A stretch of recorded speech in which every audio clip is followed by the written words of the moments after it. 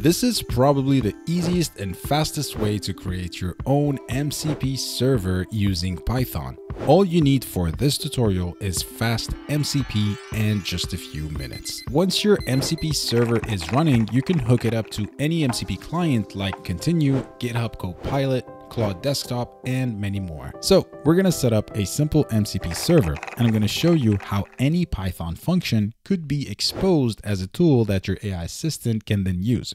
I have a function that takes a URL as a parameter and then scrapes content off and compiles a basic list of SEO items like title, description, and keywords. For this example, I'm gonna use this post from my blog. But even though our example is about SEO, the concepts and logic are the same for any other use case.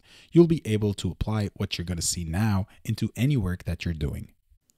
Just to keep this video straight to the point, I'm not going to talk about the MCP protocol itself, but if you want to know more, I'm going to leave a link in the description to my other video going over key MCP concepts, so check it out. Alright, so your server and client need a way to talk to each other, and FastMCP supports all the different transport options. These are like the channels used by the client and the server to communicate with each other. First, we have the standard in, standard out transport, then the remote transports, which are the streamable HTTP, and SSE transport, which is deprecated, but it's still there for legacy support. Next, we have in-memory transport, and MCP JSON configuration transport, which is used when defining multiple servers. Now, I'm not going to touch on the different transports within the protocol, but if you want to read more, I'm going to leave a link to the official documentation so you can read on the topic. Now, for this tutorial, I'm going to use the streamable HTTP transport, which is really good for production deployments and you can easily hook it up to any MCP client. Okay, so all you need to run an MCP server is this FastMCP package, but I also have requests and beautiful soup because like I said in the introduction of this video, I have a tool that will be exposed within this MCP server that is able to get some content from any given URL. And it uses Beautiful Soup and requests to do that. So I'm including those in my requirements.txt file. Okay, so let's take a look at the project structure. So first we have this requirements.txt file. Then we have a Docker file because we're going to run this in a container. So we're obviously using Python here and I'm exposing port 8000. Uh, which is going to be used for this MCP server. Then we're doing a command python app.py. Okay, we also have a Docker Compose file. Then we have app.py and our tools folder here, which includes one tool or one function which is called SEO info.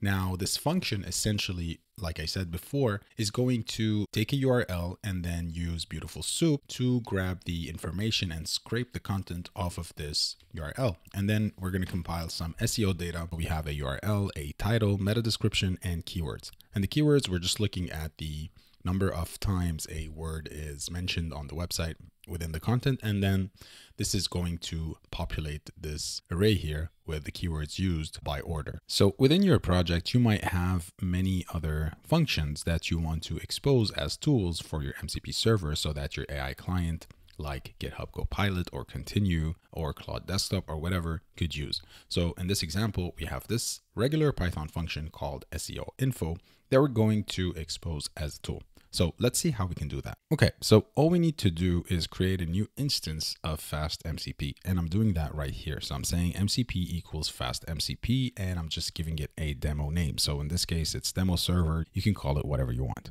And as you can see, I'm also importing our SEO info Python function from this tools folder here that we just saw. Okay, so we have this demo function as well here, which is called multiply essentially he takes two numbers and multiplies them together. And we're saying that this is a tool by adding this decorator here, mcp.tool. Now, there are optional things that you can add like tags and you can see more about the different tags and different options in the documentation. So i'm going to leave a link in the description so you can read on that. But essentially what i'm saying here this multiply tool is deprecated so that your mcp server knows to tell the client that this multiply function is deprecated. Okay next we can see our seo info. So we're passing this url and we're returning whatever this function returns essentially the seo information from the url and all we need to do super easy is just add this decorator.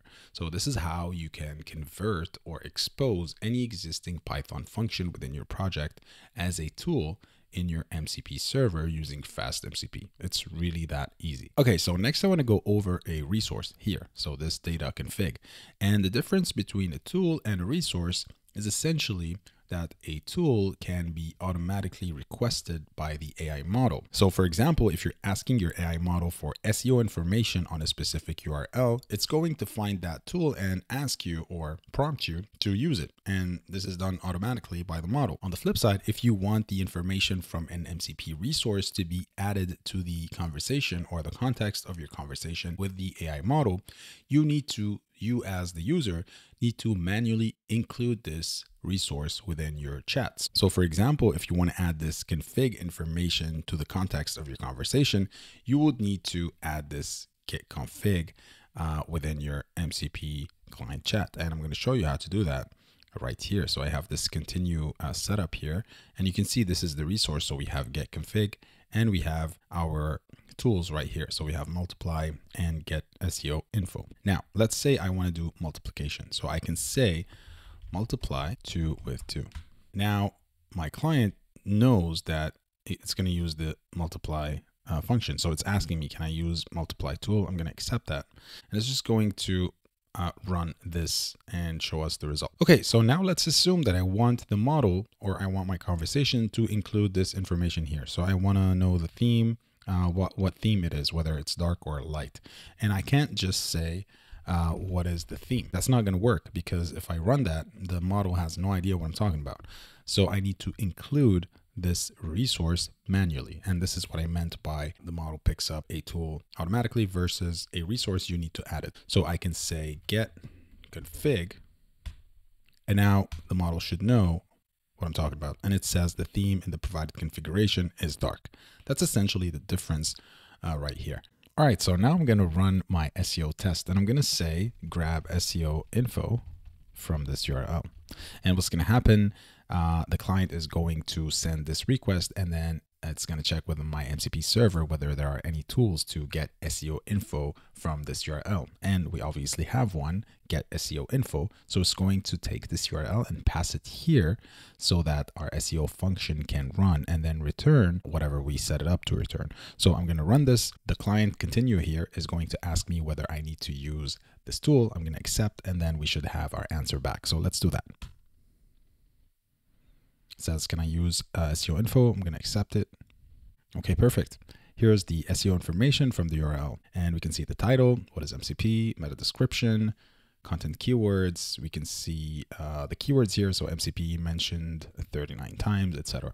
And this just shows you how really simple and easy it is to have your existing functionality connected to any AI model using MCP and FastMCP.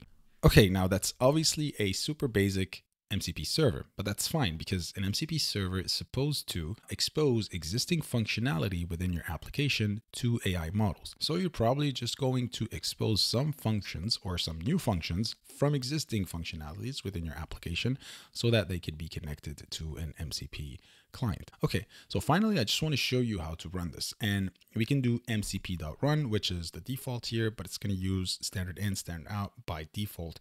And for this example, I'm using HTTP, so we can do mcp.run, and then we can pass in the parameters. So we have transport HTTP, and then I had to use this exact host because I'm running this in a Docker container. So if you don't do that, it's not, it's not going to work. And then we can specify the port, so 8000 and the path. This basically means that our MCP server is running on this host, this port slash MCP. So after doing that, we can finally take it for a spin. I'm going to say Docker, oops, Docker compose up. And there we go. That's everything you need to know. Your MCP server is running here. So we have HTTP, our port slash MCP, and you can use any client to test this out. I have another video where I show you how to set up continue also going to leave a link in the description. That's a lot of links in the description.